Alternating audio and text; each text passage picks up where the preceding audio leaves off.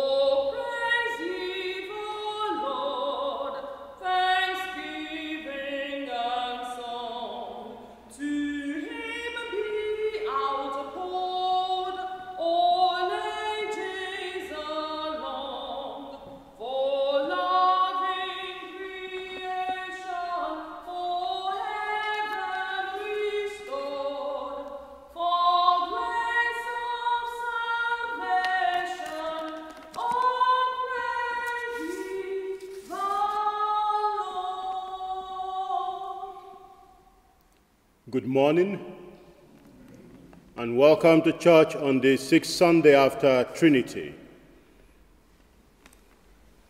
Let us pause for a moment to thank the Lord for the week past and to commit our ways into His hands in this new week.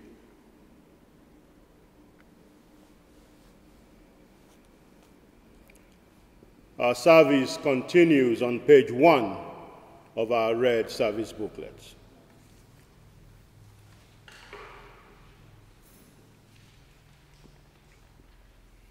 In the name of God the Father, the Son, and the Holy Spirit.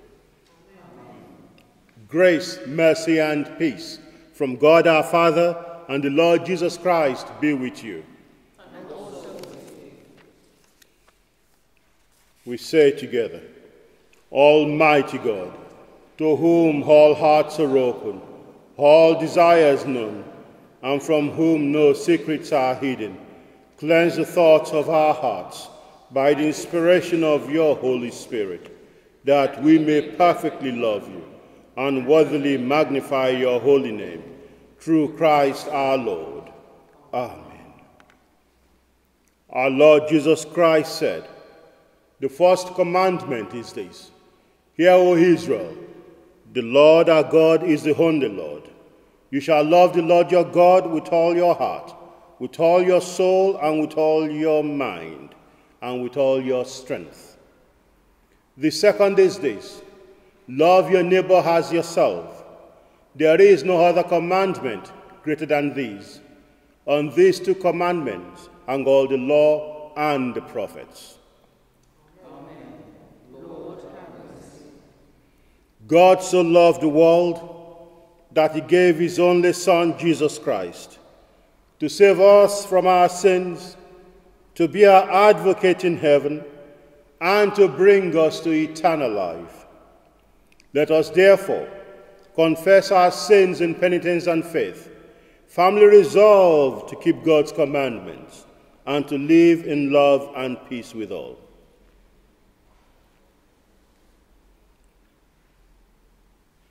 We say together, Almighty God, our Heavenly Father, we have sinned against you and against our neighbor in thought and word and deed, through negligence, through weakness, through our own deliberate fault. We are truly sorry and repent of all our sins. For the sake of your Son, Jesus Christ, who died for us, forgive us all that is past and grant that we may serve you in newness of life, to the glory of your name. Amen. Lord, have mercy. Lord, have mercy. Christ, have mercy. Christ, have mercy. Lord, have mercy. Lord, have mercy. Almighty God, who forgives all who truly repent, have mercy upon you, pardon and deliver you from all your sins confirm and strengthen all goodness, and keep in life eternal, through Jesus Christ our Lord.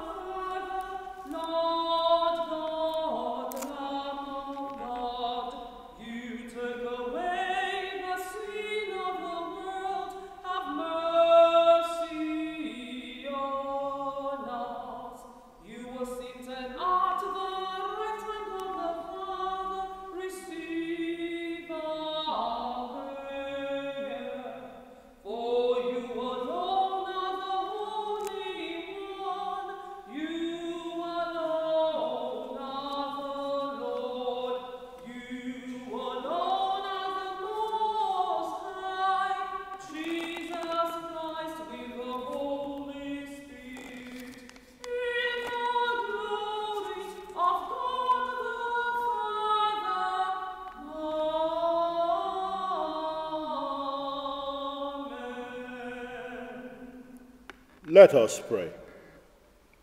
Merciful God, you have prepared for those who love you such good things as pass our understanding.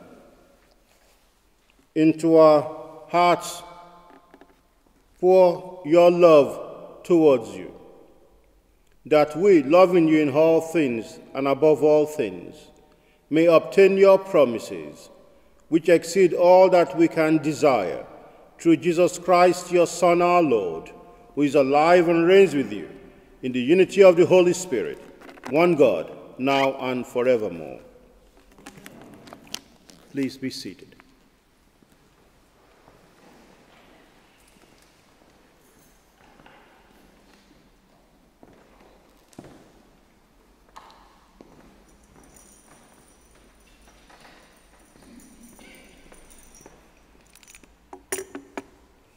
For Emmanuel praise. And this morning we're singing number 121 and 128. And I'll call the other numbers out afterwards. From the rising of the sun to the going down of the same, the Lord's name is to be praised. From the rising of the sun the going down of the same,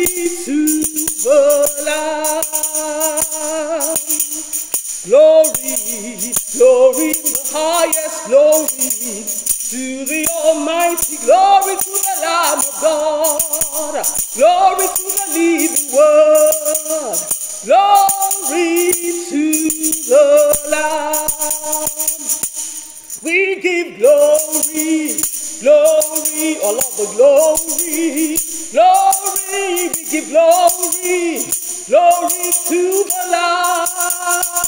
Oh, we give glory, glory, all of the glory, glory, all the glory, glory to the Lamb.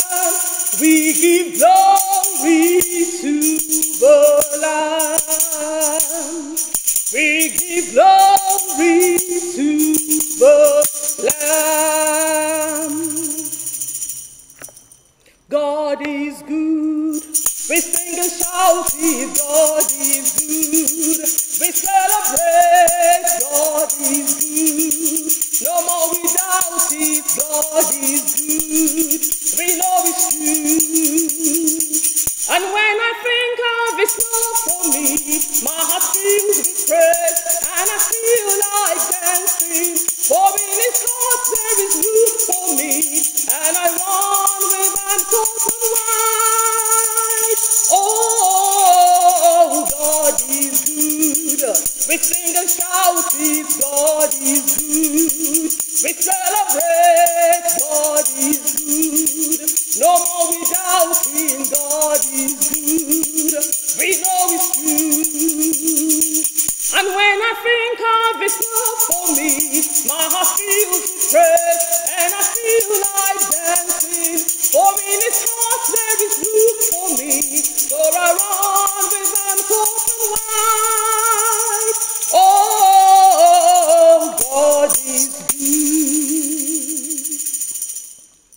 We finish this morning with number 179. Hold me, Lord, in your arms. Fill me, Lord, with your spirit. Touch my heart with your love and let my life glorify your name. Singing hallelujah.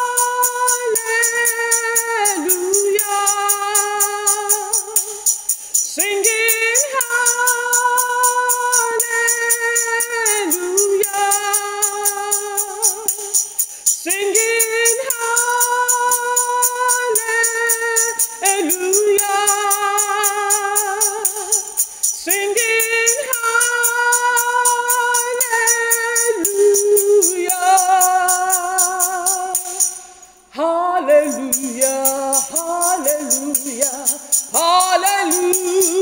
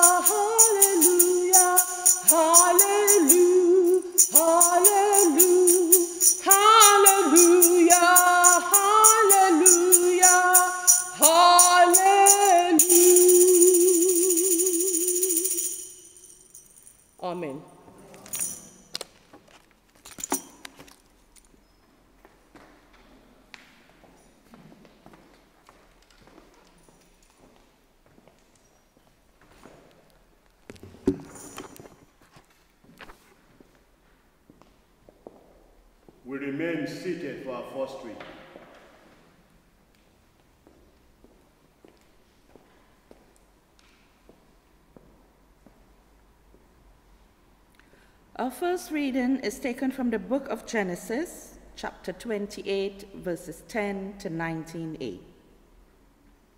Jacob left Beersheba and set out for Haran. When he reached a certain place, he stopped for the night because the sun had set. Taking one of the stones there, he put it under his head and lay down to sleep. He had a dream in which he saw a stairway resting on the earth, with its top reaching to heaven, and the angels of God were ascending and descending on it. There above it stood the Lord, and he said, I am the Lord, the God of your father Abraham, and the God of Isaac. I will give you and your descendants the land on which you are lying. Your descendants will be like the dust of the earth, and you will spread out to the west and to the east, to the north and to the south. All peoples on earth will be blessed through you and your offspring. I am with you and will watch over you wherever you go, and I will bring you back to this land. I will not leave you until I have done what I have promised you. When Jacob awoke from his sleep, he thought, Surely the Lord is in this place, and I was not aware of it. He was afraid and said, How awesome is this place! This is none other than the house of God. This is the gate of heaven. Early the next morning, Jacob took the stone he had placed under his head and set it up as a pillar and poured oil on top of it. He called that place Bethel. This is the word of the Lord. Thanks be to God.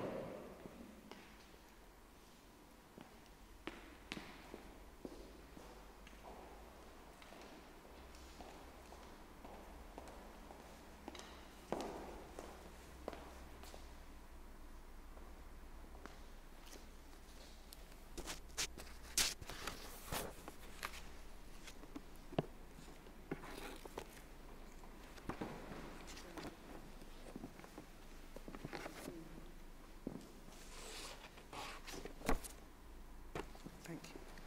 The second reading is taken from Romans chapter 8, verses 12 to 25. Brothers, we have an obligation, but it is not to the sinful nature to live according to it.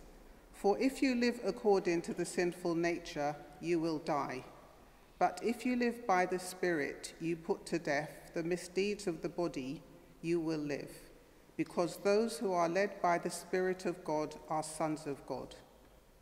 For you did not receive a spirit that makes you a slave against, again to fear, but you received the spirit of sonship. And by him we cry, Abba, Father. The Spirit himself testifies with our spirit that we are God's children. Now, if we are children, then we are heirs, heirs of God and co heirs with Christ, if indeed we share in his suffering, in order that we may also share in his glory. I consider that our present sufferings are not worth comparing with the glory that will be revealed in us. The creation waits in eager expectation for the sons of God to be revealed. For the creation was subjected to frustration, not by its own choice, but by the will of the one who subjected it, in hope that the creation itself will be liberated from its bondage to decay and brought into the glorious freedom of the children of God. We know that the whole creation has been groaning as in the pains of childbirth right up to this present time. Not only so, but we ourselves, who have the first fruits of the Spirit, groan inwardly as we wait eagerly for our adoption as sons, the redemption of our bodies. For in this hope we, are, we were saved. But hope that is seen is no hope at all. We hope for what he already has. But if we hope for what we do not yet have, we wait for it patiently. This is the word of the Lord. Thank you,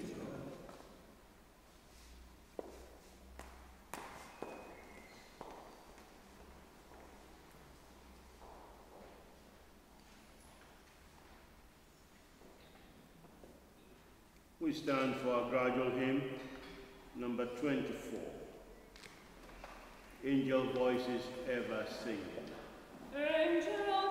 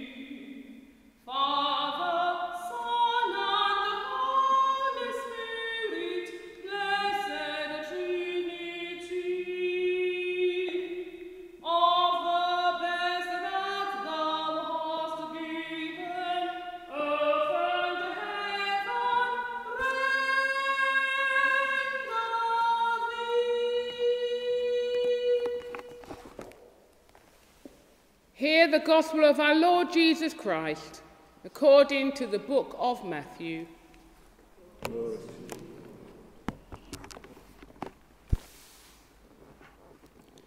Jesus told a parable to the crowd. The kingdom of heaven is like a man who sowed good seed in his field. But while everyone was sleeping, his enemy came and sowed weeds among the wheat and went away. When the wheat sprouted and formed ears, then the weeds also appeared. The owner's servant came to him and said, Sir, didn't you sow good weed or good seed in your field, I should say? Where then did the weeds come from? An enemy did this, he replied. The servants asked him, Do you want us to go and pull them up? No, he answered, because while you are pulling the weeds, you may root up the wheat with them. Let both grow together until the harvest. At that time, I will tell the harvesters first, collect the weeds and tie them in bundles to be burned, then gather the wheat and bring it into my barn. Then Jesus left the crowd and went into the house. His disciples came to him and said, Explain to us the parable of the weeds in the field. He answered, The one who sowed the good seed is the Son of Man. The field is the world, and the good seed stands for the sons of the kingdom. The weeds are the sons of the evil one, and the enemy who sows them is the devil. The harvest is the end of the age, and the harvesters are angels. As the weeds are pulled up and burned in the fire, so it will be at the end of the age. The Son of Man will send out his angels, and they will weed out of his kingdom everything that causes sin and all who do evil. They will throw them into the fiery furnace, where there will be weeping and gnashing of teeth. Then the righteous will shine like the sun in the kingdom of their Father. He who has ears, let him hear. This is the gospel of the Lord. Praise to you.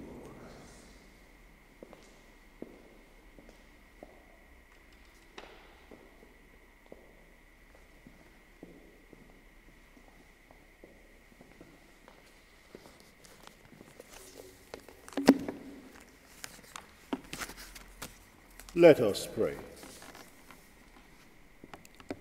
Almighty God, may I speak in your name as God the Father, the Son, and the Holy Spirit. Amen. Please be seated. Before we continue proper into our sermon, our cantor will sing number 96 for us.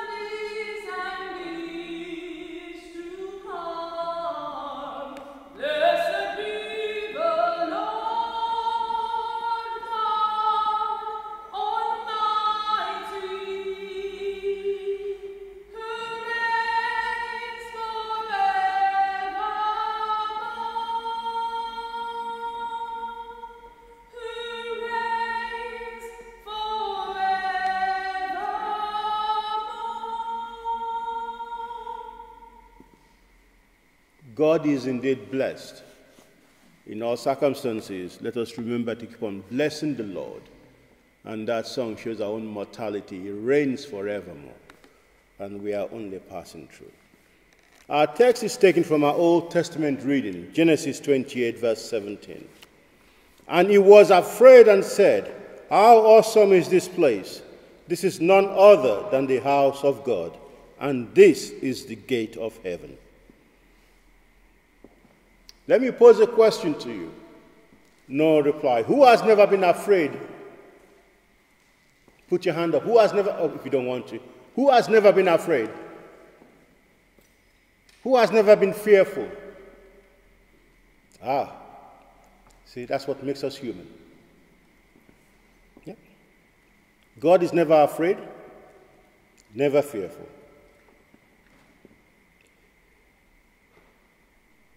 Have you ever felt uneasy in a new place or house, in an environment, or beside some people?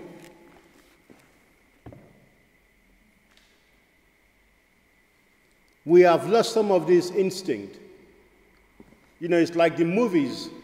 They know that there is danger and they keep on going in there. I call it being stupid. The first sign of danger, what do you do? You run. Run in the opposite direction.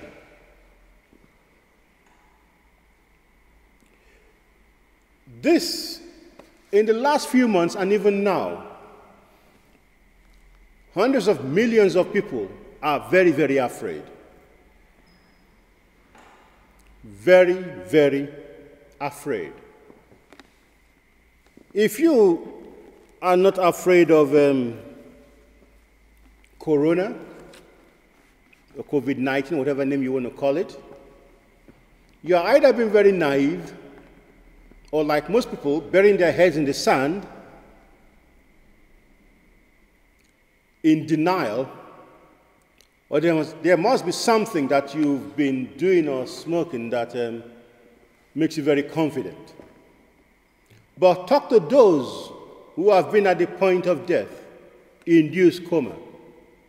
They will tell you how precious life is, how it is to be afraid we live in a world that is infused with more than enough fear.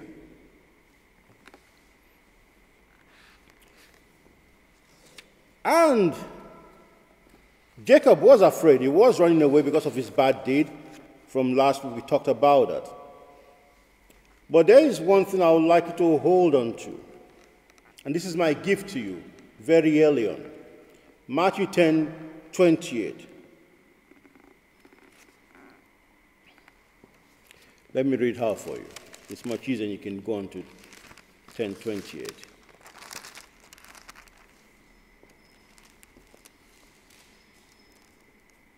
And do not fear those who kill the body but cannot kill the soul. Rather, fear him who can destroy both soul and body. And then verse 31 Fear not, therefore, you are of more value than many sparrows. Corona can only kill the body, not the soul. They say a coward dies a thousand deaths, a brave man dies only once.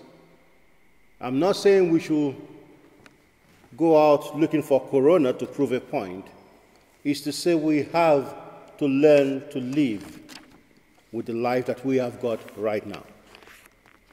Not to be to live in fear because that will have a disastrous effect on your mental well-being. We have to embrace each day with common sense. Before corona there were more stuff around the planet to be fearful of and after corona 19 there will be covid 29 or 24 in years to come as i've kept on saying we have lived with viruses on this planet. Many of them are benign, many of them are useful to us. The question is, what triggers this? And we'll go on into our sermon. It's just for you to hold on to. Fear, there is healthy fear, and destructive fear. Let's go for the healthy one, common sense, and do all that we can. Now, this was a man who was very afraid. In Genesis, as, we've, as I said earlier, we heard of Jacob's dream of the ladder going from heaven to earth. And afterwards, with our text, how awesome is this place? And the stone that he put his head on, he set it up as a pillar and poured oil on it to consecrate that place as a holy ground because he could feel the presence of God in it. This is none other than the house of God. You know, it's interesting that um, in, in the Ethiopian church, and I use the word church, they don't call their house of prayers, you know, the church. They say the house of. I think it's Beit something, house of, the house of God. And this is none other than the house of God. And at times, by coming in, we have lost what it is to come into the awesome presence of God. And we need to rediscover that. We have just rediscovered what pure fear is. And I think I've said this before. When people say to me, Oh, there is no God, prove it. I can't see him. You know, if I can touch him, I believe there is God. Well, you can say the same. There is no corona because you can't touch it, you can't feel it, but you do see the effects. And you can be in denial all you want. And it's also a form of evil. And I say this to all those in power and authority who have been denying and watching their people die. This is throughout the world. That there is something called corona, but a small bug. When tens of thousands are dying, human compassion means you need to pause, swallow your pride for the sake of those who need to live. And we all need to, we all have a part to play in that. That's just a sideline. Going back, you know, as you enter, this is none other than the gate of heaven in any house of God. As you enter, you bring your praises, your fears, your joy, and all your hope that you had for the week and for the new week to come into God's presence to share with your Father that Dad, I've arrived. Last week was a bit rough, but I'm thankful that I'm here today. Thankful to you that I'm alive Thankful to you that, yes, I came in last week. I didn't have any twinges or pains, but I've got a pain in there. Lord, I'm bringing that also to the foot of your altar. We need to be, con- to be in a mood of constantly thanking God for all that He has done for us. The stone, you can say, is the foundation of the church, which is Christ. As in in, uh, you know, in Genesis 21 40 to 44, Christ is the cornerstone. Acts 4.11. And the oil, you can say, signifies our Lord Jesus Christ as the holy and anointed one of God. Matthew 1 18. Then the question that you might pose to me or I'm posing to you is what has the house, the stone, and the oil got to do with fear, peace, joy, sadness, good and evil? What have all this got to do with the house of God? What have they got to do in our homes, in our own lives, in the world around us? A lot, I will say. In the gospel reading, in the parable of the wheat and the weeds, it builds up on last week's parable of the sower in Matthew 13 24 to 30. Here, our Lord Jesus Christ gives attention to the enemy who has sown his seed among Christ's people in the world. As falsehood comes after truth, and false prophets come after true prophets. So the Antichrist will and has come after the Lord Jesus Christ first coming. Evil tend to come after good. Garden of Eden, our father and mother were in perfect bliss. Evil came afterwards. Enemies come after friends. Most of you are old enough. If, you were to, if I was to say to you, do you remember that friend you had 50 years ago or 40 years ago? You will have stories to tell.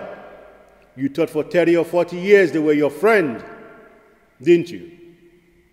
I say to people, suck it up, grow up. That is life. You cannot spend your life thinking everyone will be your enemy. If not, you will be paralyzed with fear. I just said to people, far better to have loved than never to have loved at all. Everything has its pros and cons, but to love is far much better. If the world can learn to love more, we will be in a far better place today. People will not be going out buying 600 toilet rolls while nobody has any. Yeah? People will not be so greedy in a world of plenty, buying 40 tons of baked beans. I'm just making it up, you know, to say how ludicrous it was. You know, there's a queue behind you and you empty the whole shelf. If the person in front of you have emptied the shelf, will you have anything to empty? I remember going into a shop and um, it just said, you know, they had, oh, you can take two butter. So I thought, oh, rather than coming back again, I got my two. And um, this woman had about two dozen anchor butter. And said, actually, sorry, ma'am, only, you're only allowed two. Oh, but I've got children. I'm thinking, hold on. Is it butter for lunch today? You know, the anchor 500. Is it butter for lunch? Oh, I got 40. I'm sorry, ma'am. And she went ballistic on this poor woman. He said, I'm sorry, ma'am. And I was just thinking, if the people before you had emptied it, will you have all those? She had about two dozen butter. I'm thinking, what are you going to do with two dozen butter? It is not essential, you can even do without it. But she vented and cursed this poor woman, and I just shook my head. So when it came to me, and um, I think I had about two, and it was only meant to be one, I can't remember. I said, It's okay. I said, The sign there was two. Oh, they've changed it because there's been a big demand, and somebody forgot to take down that you only allowed one butter per customer, which made sense. Why will you go and store two dozen butter in your deep freezer? We need to learn human compassion, think not just for ourselves, but for others. And from there, this poor woman doing her job begin to do what? Have enemies. No matter what you do, people will resent you. Whether you wear black shoe today and then tomorrow you change to brown, it's a source of contention for some people. You never know who is looking at your shoe. You never know. You can make enemies by changing your specs. You know that. You remember when you were growing up? I, I mean, I don't know about girls, but you had your bicycle. You either got more friends who want to ride your bicycle and some who envied you. Isn't that right, Mr. Johnson? Yep. And if your bike was the right red color, man, you're ruling, you're ruling the town.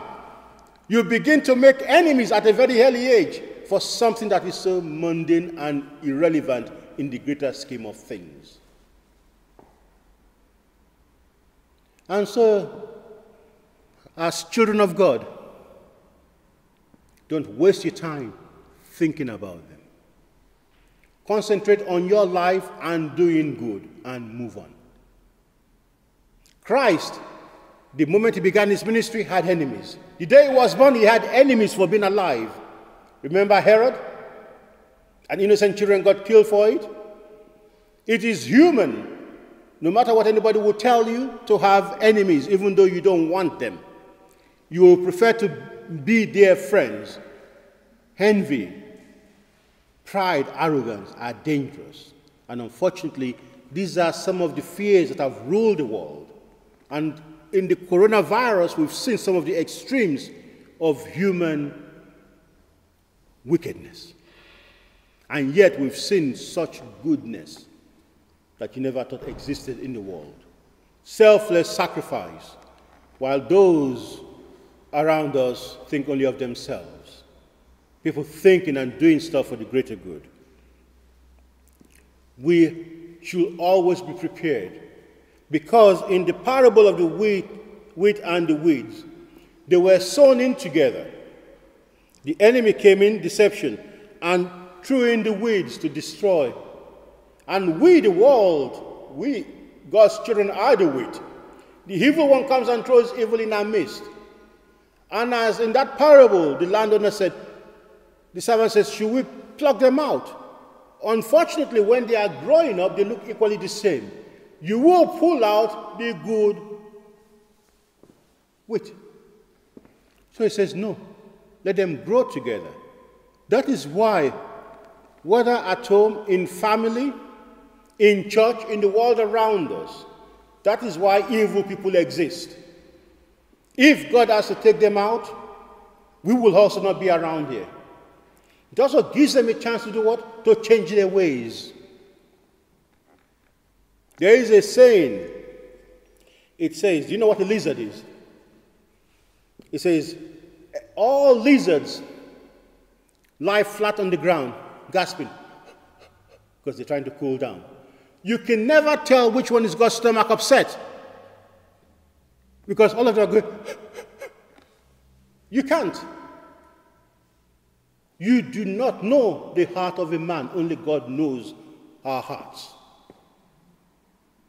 But unfortunately, we tend to judge by appearances. And when we do that, and you've done it, I've done it, you've made a mistake. And may God forgive us all for those mistakes. I remember the story of someone. They, they didn't even think about it. You know, life goes on. You haven't heard from somebody for about two or three years. You don't think much about it. Then they had a phone call. Oh, how are you? It's a long time. I forgive you. And they thought, forgive me for what?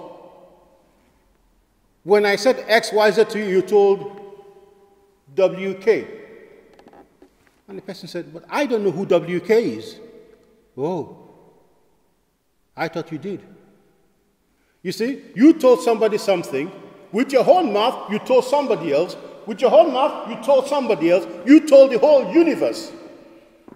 So when it comes back to you, not just one person, the whole universe, you are now saying a man or woman from Mars said X to you, and you are blaming the wrong person. So for three or four years or more, you had a grudge against someone who didn't even know somebody had a grudge, who was totally innocent. Next time when you're in doubt, quickly take a phone and ask.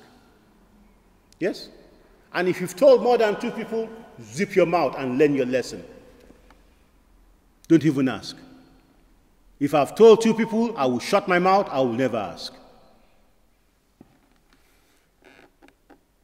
Get your facts right. That is the problem we have in the world today. Everybody's an expert on coronavirus. Yeah? Even people who have no idea that 1 plus 1 equals 2 can tell you about the, um, I'm sorry, Anne Marie, you are the expert in this. I'm not a medical person. They'll tell you about the equation for corona. But if you put 1 plus 1, they'll tell you 4. And they're giving the equation for coronavirus. If you believe them, you are doubly stupid. Common sense. There are ways you can, places you can go to to get your facts right. Evil always run in the world. Because either for some people it's just silliness, not realizing the gravity of what they are doing. And so that person hated somebody, bore a grudge for years, and that person was innocent and didn't even know. And the same is true for all of us. We have either been accused or not accused of what we have or not done. And we have done the same, and may God forgive us all of that sin of omission. I'm just bringing it down to our level as we blame our leaders. for their many bigger misdemeanors.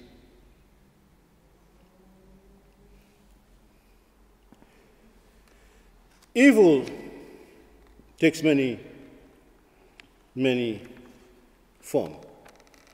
The question you have to ask yourself is Are you wheat or weed? Which camp do you belong to? If you are one of those who is a weed, before the harvest comes, you have the chance to change. If you're a wheat, don't get choked by the enemy around you or the evil around you. You don't have to take part in it. You don't have to buy into it. Remember the school ground for you children? When somebody is friends and nobody's talking to one person and the poor child is alone, it's not nice. Go and talk to them. Nobody loves being alone. You never, you don't even know what burden they are carrying in their mind or in their lives. Be friends with those that people do what? Don't want to be friends with. Unless there's a special good reason for not being friends with them. If not, point it out to your teachers to say, Ma'am, sir,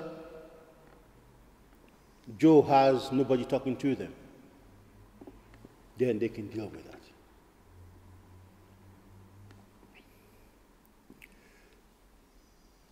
Are you a wit or a weed? In your day to day life, among friends, in your family, in the world around us? And if you're a wheat, what are you doing to deepen your root into our Lord Jesus Christ? Because the weed has only one agenda to squeeze the life out of you. And unless you are rooted and grounded in Christ, you won't survive. You know how powerful and strong trees are? Have you seen some creeper weeds go around it and suck the life out of a massive tree? The only way to save that tree is to cut those creepers at the bottom. And even if you do, if you're not careful, if there's any chance of them getting a bit of soil, they're going back in again. Weeds can choke a tree to death, a big tree. So don't underestimate the weeds in the world or around you. Do not do what? Underestimate their tenacity to survive and continue their evil ways. Is Christ your cornerstone? Or have you let apathy and falsehood let you, let you sell your birthright like our father Esau for a loaf of bread and a bowl of pottage? Many of us do that because I want to be like Joe. I want to be like Mary Ann. You don't want to be yourself. That's what you have in the world of celebrities. I'm sorry, no offense meant to celebrities. I'm happy for all of them. But in real life, what have they seriously contributed to society or achieved? It's a question I put to people. What have we done to make the world a better place? And my pet hate is when we have band aid, good aid, you know, this aid. I'm giving my time. You got 40 million pounds, write a check for that amount of money and give your time. You are taking from those who have less. Do you see the logic behind that? I'm so, you know, I, I know this will go on the YouTube or whatever it is, maybe somebody's listening. It's a form of evil. They are also giving their time. They are given even more. It's called the widow's mite. Where those with less give more than those with more.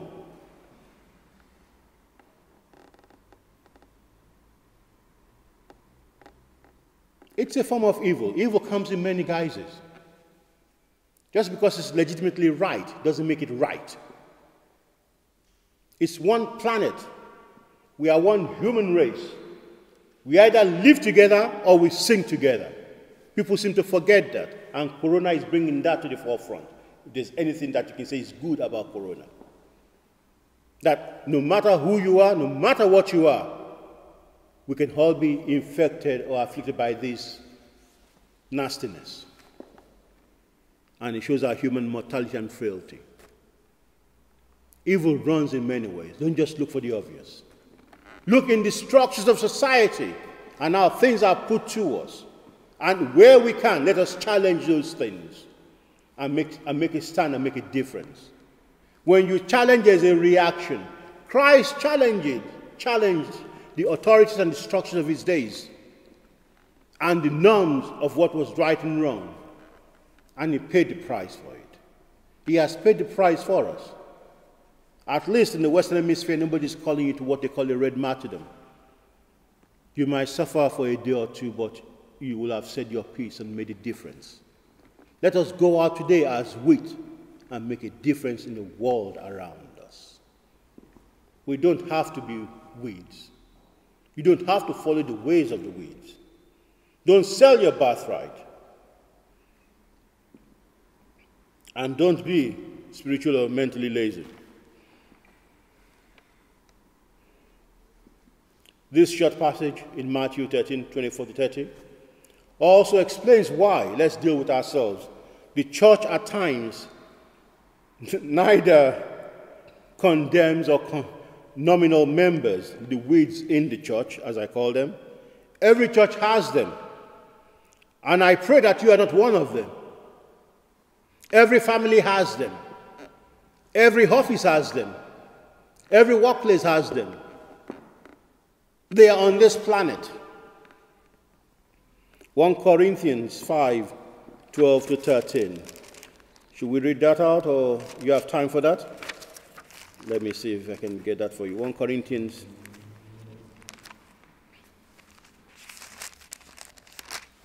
Five, 12 to 13. Apologies. Nine.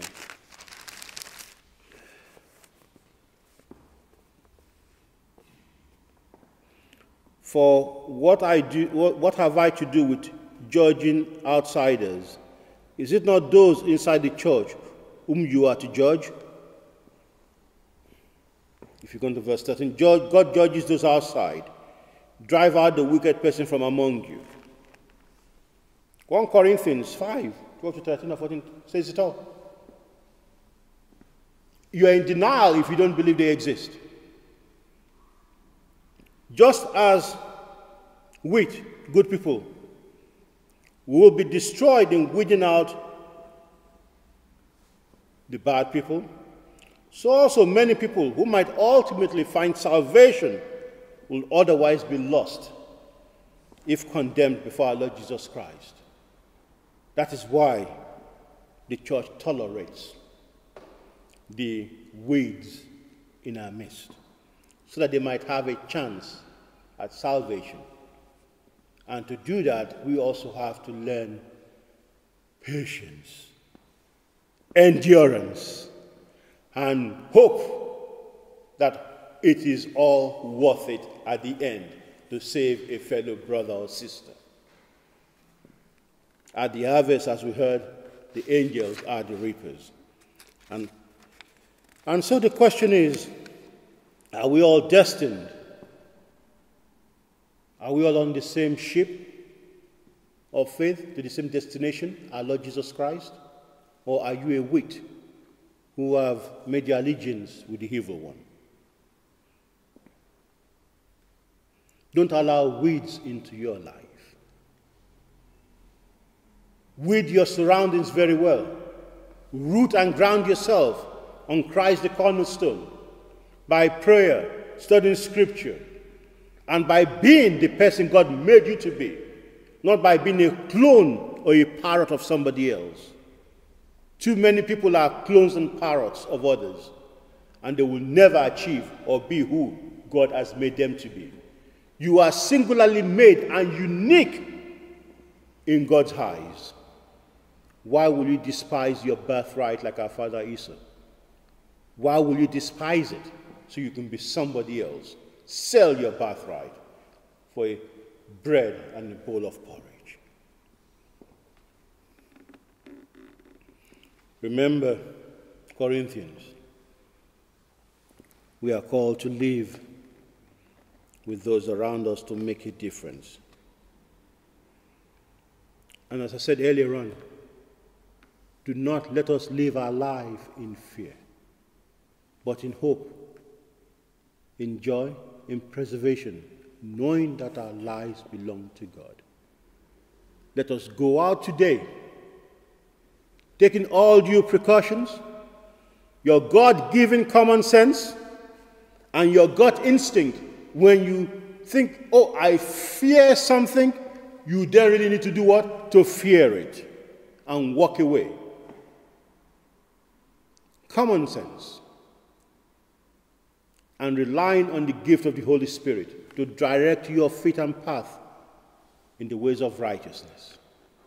So let us go out today, learning to love God, to fear Him, and to remember that, yes, we are afraid even our own homes to be an awesome place, to be a spiritual powerhouse where God resides with us in the grace of His Holy Spirit.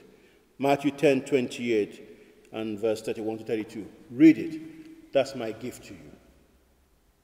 If you have to fear anything, when I say fear God, it means to love God in Scripture. People think it's to be afraid. No, no, no, no, no, no. That is not.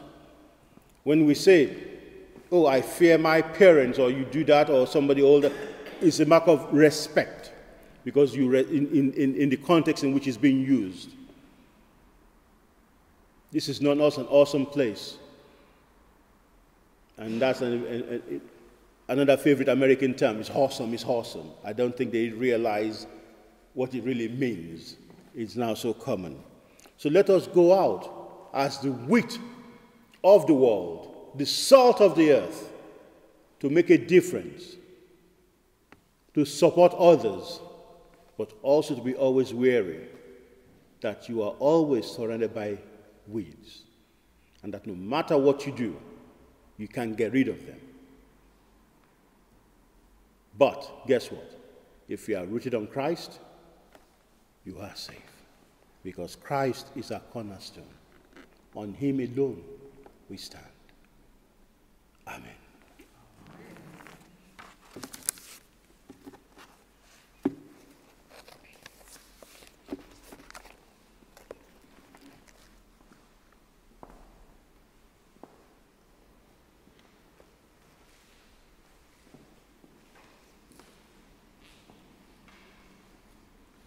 Stand to sing our next hymn, number 21, followed by our prayer.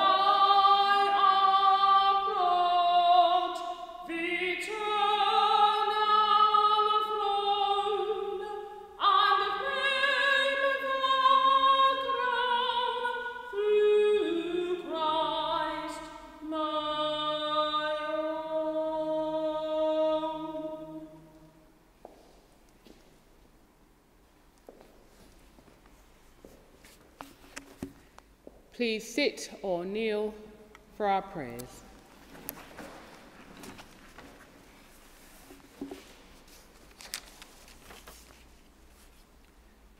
Let us pray.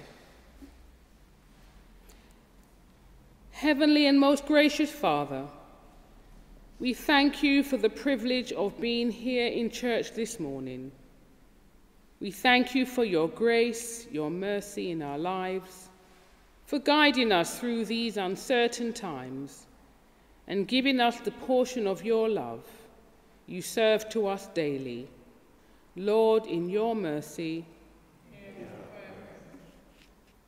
Dear Father God, through your tender mercy, we put before you the people of the world who have the authority, power, and leadership to govern your people, your children. We put before you world leaders, especially our UK government, its leader, Prime Minister Boris Johnson, and his cabinet. We put before you our Queen, Queen Elizabeth and the monarchy and her family. We put before you those leading our churches, our archbishops, our bishops, clergy, and laity, and all those who serve in the church, especially those seeking to instate new leaders at this particular time in our own diocese of Chelmsford, a new bishop. We put before you leaders of our public services, especially frontline workers in every area, and particularly those tasked with the responsibility with end of life. Lord, in your mercy. Yeah. Dear Father God, these positions of authority, we know that they come with integrity, trust, and love for your people.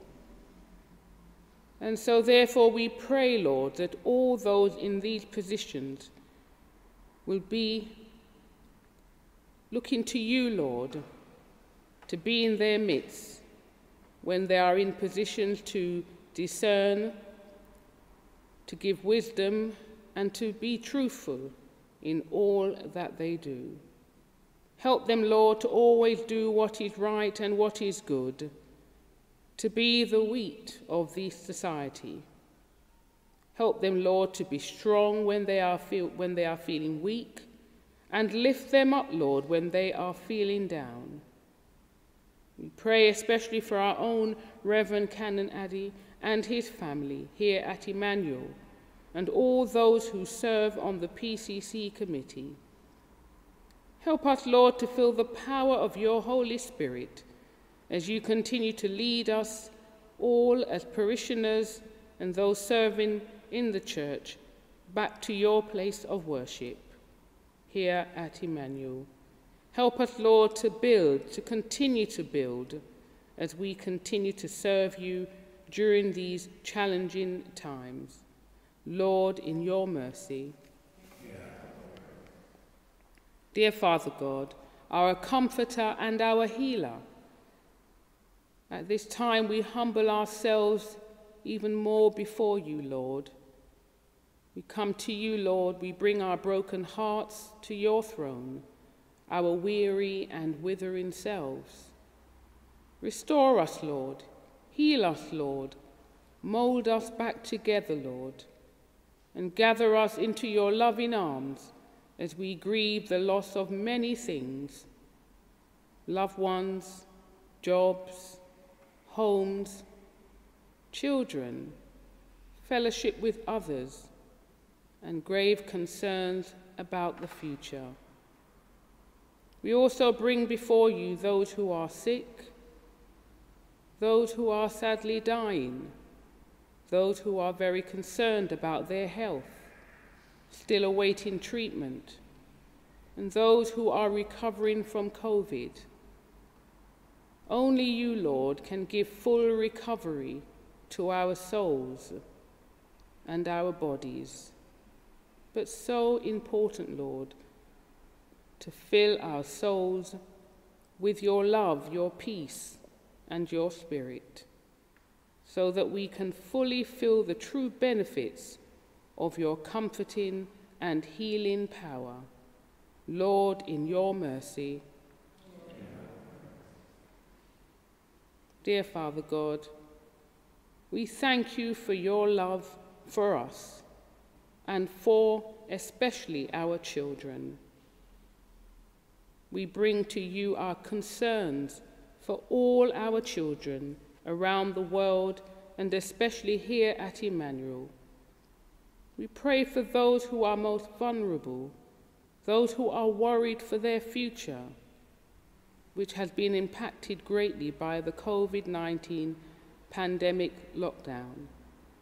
Dear Lord, please release them from their pain and suffering. Give them hope. Help them, Lord, to see the light at the end of the tunnel to be renewed and transformed during these times, even though it has been difficult, to be refilled, to be refocused, and encourage them, Lord. We pray to know you, that you are their guiding strength and their guiding light and star in the darkness, in all they wish for and all they wish to do. Take their hands, Lord and please show them your merciful way. Lord, in your mercy. And at this point, we pray, Lord, that as we offer up this silence for everyone to bring their personal petition, their prayers, their concerns to you, to go before you, Lord, with open and humble hearts as you await to hear their prayer. In this silence, please offer up your prayers to the Lord.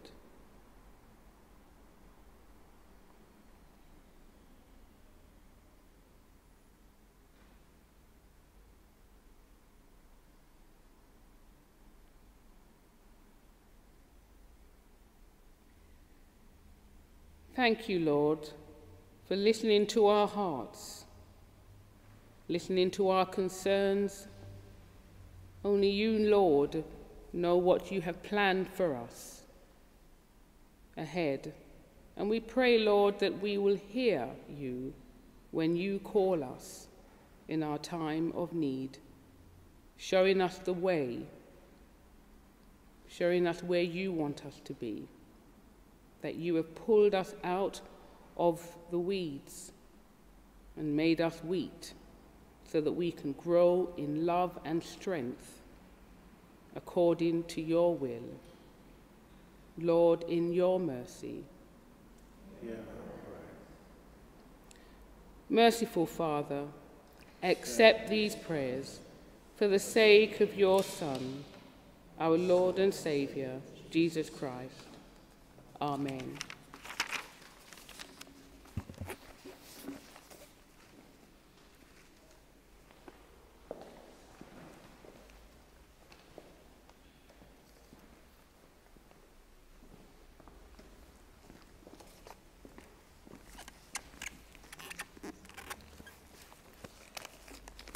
Please stand.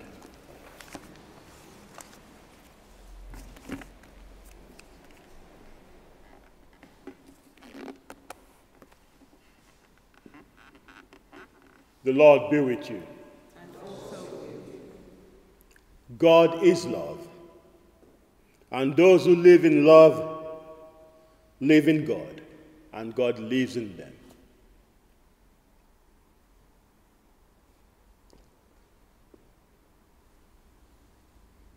Let us share the peace with one another. It's a bit different, but peace be with you all. Peace be with you. And now,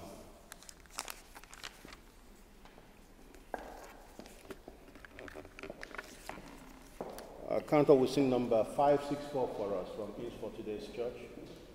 Christ our cornerstone. 6 4. No, oh, five. Oh. 564.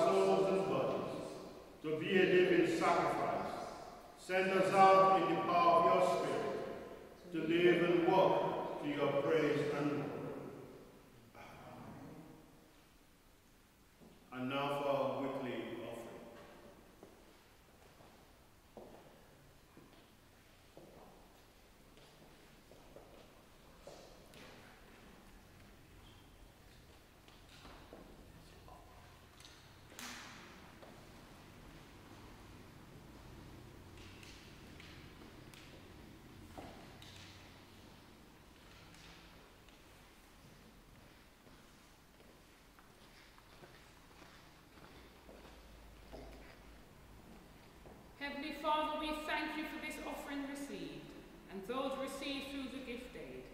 Thank you, Lord, for the hands that have given this money. And we pray, Lord, we'll use it wisely in this church for your good. In Jesus' name we pray. Amen.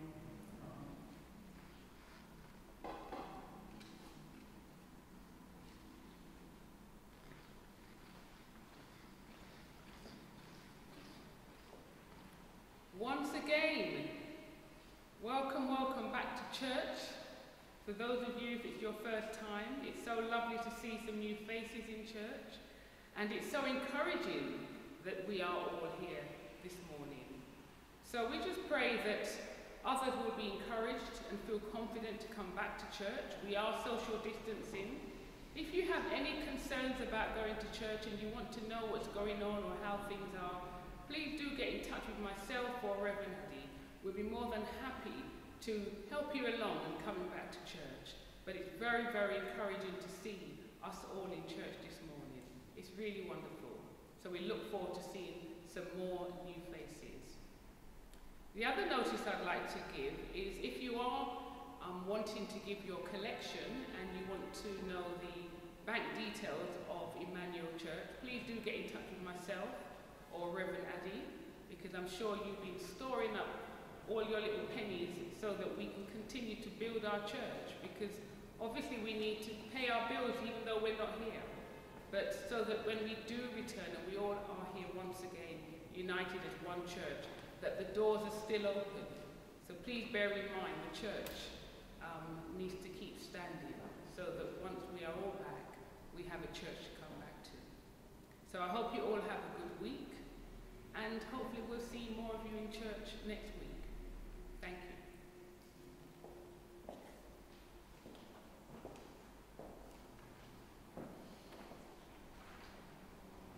We remain standing for the final blessing.